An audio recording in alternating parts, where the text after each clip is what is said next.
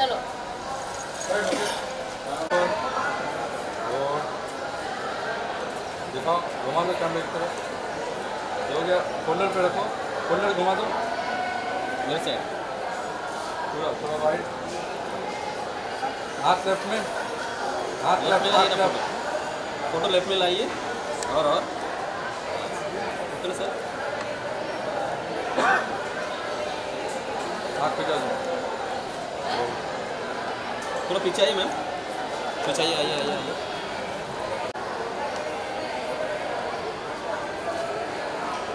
आइए और बाकी ये झाड़ा है